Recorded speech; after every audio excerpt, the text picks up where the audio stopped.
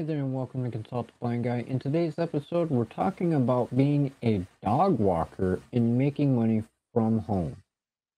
If you're new here, please don't forget to subscribe. If you're a returning subscriber and a member of the Consulting Crüe, welcome back. I hope you enjoyed today's episode. Let's get to it.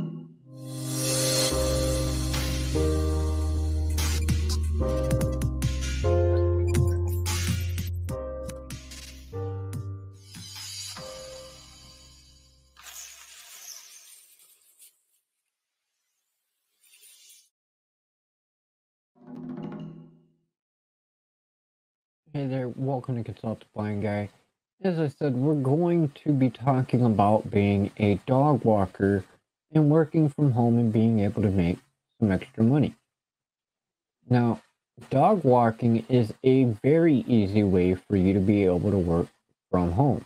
And you can even start an entire business around this to where it's not just you, but it is a team under you that does more work than you do. You can start out by posting flyers in your neighborhood, posting on social media, on your website, or on the help wanted section on like Craigslist or at your local grocery store on the pin boards that they have there offering dog walking services. Now, you can charge per visit to walking the dog or you could set it up on a daily rate, or if you choose to do a long term contract with them to walk their dog or dogs uh, throughout the week while they work or while they're on vacation. You can also offer extra services besides being just a dog walker. You could, we'll say hypothetically, charge $10 to walk a dog for an hour per day. Okay. As an added service, you could feed and water the dog for an extra $2. You could, if you have the skills, you could be a dog groomer as well. So not only would you walk the dog or feed and water the dog, but you could care for the dog in the sense of trimming their hair down if you have that knowledge, or clipping their nails if you have that knowledge.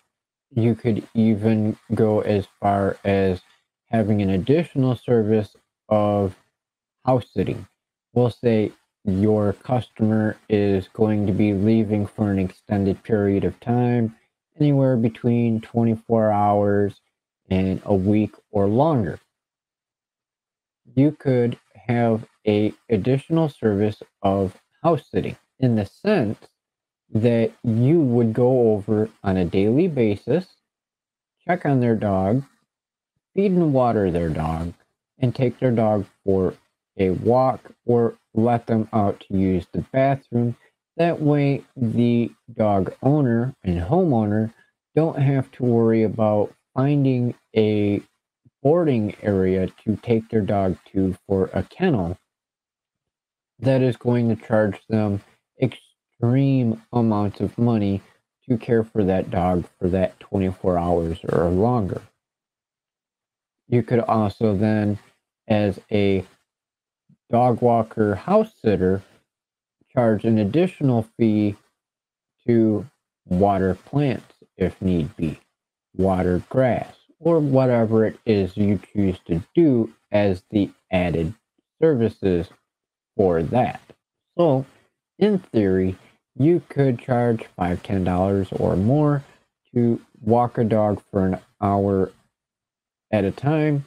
You could additionally charge an additional fee for feeding and watering, possibly grooming, or the house sitter dog walker combo, as well as an additional fee for taking care of houseplants so they don't die while they're on vacation or away from home for an extended period of time.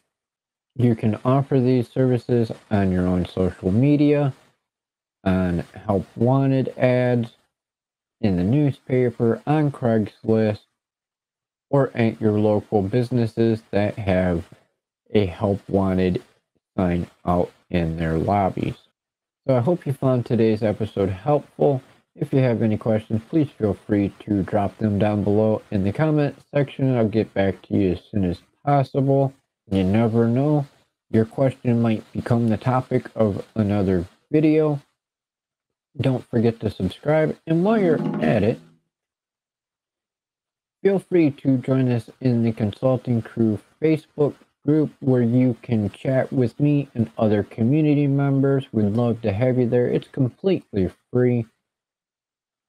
You can ask further questions there, get to know me, get to know the community members, have general conversations, and just talk about whatever, including maybe the topics that we have here on the channel, or maybe there's a topic you would like me to cover.